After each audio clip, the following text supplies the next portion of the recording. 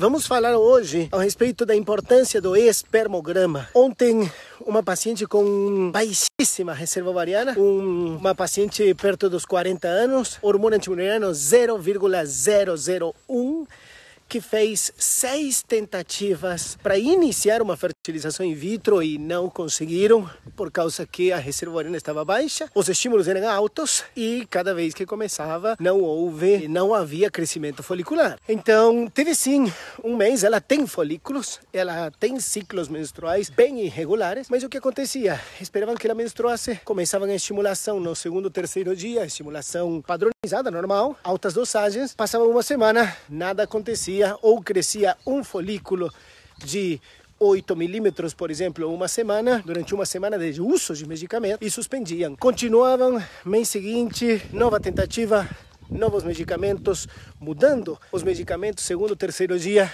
começavam 7, 10 dias de medicação, não havia crescimento folicular. Uma vez houve um que cresceu, que não chegou a blastocisto, e depois umas cinco tentativas sem sucesso. Isso foi na primeira consulta e pedi um espermograma para ela, para o casal. Marido de 28 anos, supostamente estaria tudo normal e a gente fez o, um espermograma com fragmentação de DNA. Por que, doutor? Se o marido tem 28 anos, o espermograma parecia normal naquele exame geral. E aí eu falei, sim, ele pode parecer normal, mas eu farei uma FIV completa e vou investir tudo nesses com esses espermatozoides. Todo o teu esforço, ela já vinha, ela já tinha comprado um pacote de muitas fertilizações in vitro em outros laboratórios, já tinha pago o médico três, quatro, cinco vezes e, e não teve evolução. Então eu falei, teu caminho está muito longo, a gente não pode deixar uma fragmentação de lado. E chegaram ontem, depois de umas duas ou três semanas que a gente estava avaliando os níveis hormonais, tentando controlar, porque os níveis hormonais estavam como 50 de FSH no começo do mês, coisa que tinha acontecido já também em outros momentos que eles tentaram estimular e não evoluíam, né? Uma coisa muito esperada. Então o momento dela é outro, não é aquele começo do mês. O momento para iniciar é é mais para frente no ciclo. Vamos, estamos no espermograma. O espermograma veio com 10 milhões de espermatozoides, a concentração 10 milhões, o normal, o normal é perto de 70, 100 milhões. O mínimo é 15 milhões e ele tinha 10. A morfologia estava com 1% então também alterada. Aquele espermograma normal que tinha de, de laboratório geral, supostamente era normal. E me chamou a atenção porque no geral ele já estava perto do limite inferior e aqui a gente descobriu 1% de morfologia. A fragmentação também estava alta, fragmentação de 35%. O que quer dizer fragmentação de 35%? Quer dizer mais ou menos de que de 100 espermatozoides, 30 estão alterados, de 3 um eh, estão alterados. Quer dizer que se nós vamos fazer uma ICSI, conseguir aquele óvulo e vou escolher, tenho três espermatozoides para escolher, eu vou ter um que ele pode estar alterado e não vai me dar bons resultados. Então, reforçando a necessidade de que ainda a gente tenha um espermograma que é aparentemente normal, ainda que seja uma pessoa nova, 28 anos, eh, pode parecer tudo bonitinho, que vai ser fácil. E eu comentava para ela assim, é fácil quando você tem uma mulher de 33 anos com 15 óvulos e você tem uma chance de 30% de, de estar utilizando espermatozoides alterados e essa chance, vamos pensar que eu peguei dos 15, 5 alterados, essa mulher ainda tem 10 espermatozoides e tem 10 óvulos fertilizados com espermatozoides bons. Isso quer dizer que ela pode ter perdido 5 em qualidade, mas tem ainda 10 e uma mulher essa idade com 10 está muito mais do que bem para chances de gravidez.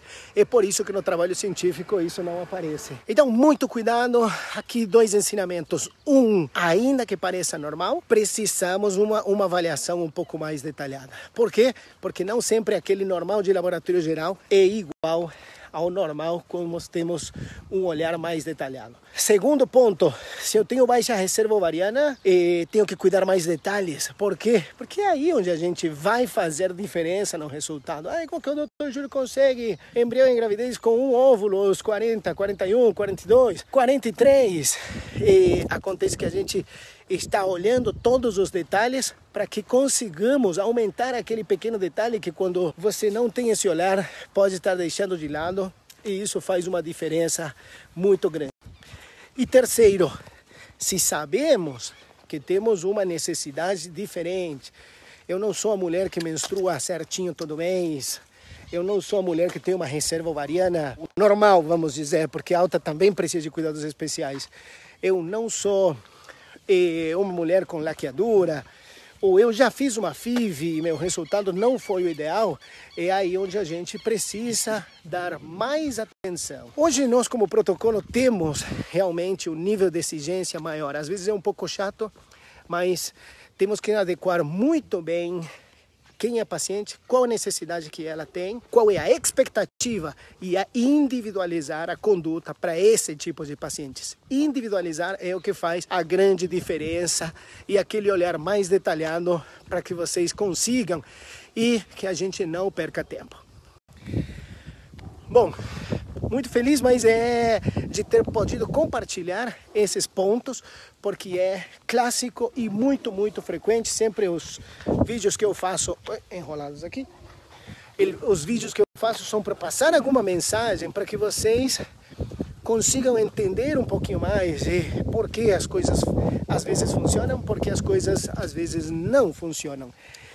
E quando não funcionam, muitas vezes nós temos a possibilidade de um olhar diferente e não só, olha não, e vamos tentar duas, três vezes se você não tem folículo ou se não cresceu o folículo, pronto, passamos para doação. Existe um caminho muito mais detalhado para a gente poder tentar e conseguir folículos.